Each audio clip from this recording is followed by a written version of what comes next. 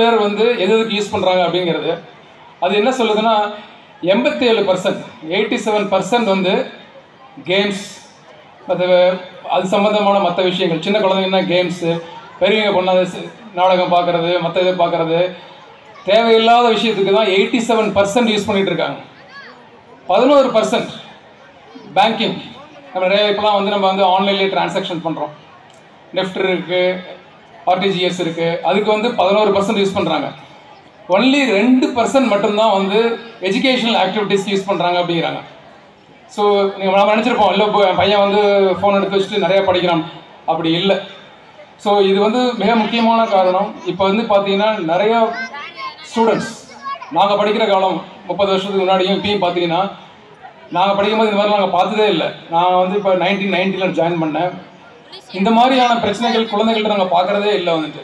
பார்த்தா மனப்பதற்றங்கிறாங்க பிடிக்கலங்கிறாங்க இருட்டபிளாக இருக்காங்க. அவங்க கூட பழகிறவங்களை கூட பார்த்தீங்கன்னா வந்துட்டு சரியாக வந்து பழகுறது வந்து சரியில்லை அப்படிங்கிறாங்க. போய் எப்பயா போய் ரூம்குள்ளே போய் படுத்துக்கிறேங்கிறாங்க. யார்ட்டையும் சரியாக பழகுறதில்ல. இது எல்லா பிரச்சனைக்கும் மிக முக்கிய காரணம் அப்படின்னு என்ன சொல்கிறாங்க அப்படின்னா டிஜிட்டல் அடிக்ஷன்ஸ் பிகாஸ் அந்த காலத்தில் இது இல்லை.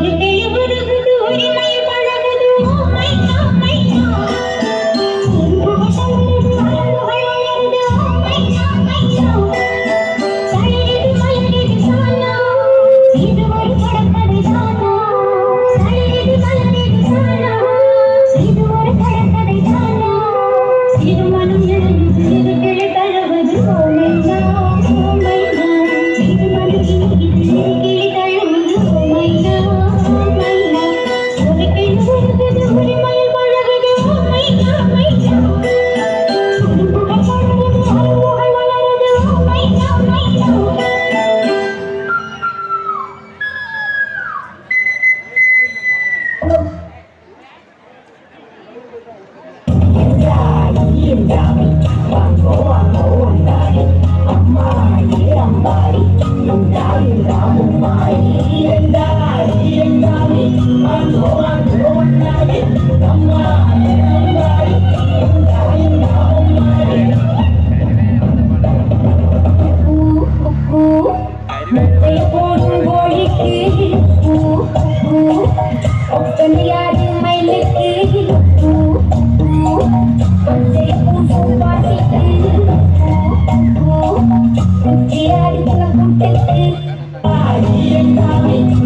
Oh,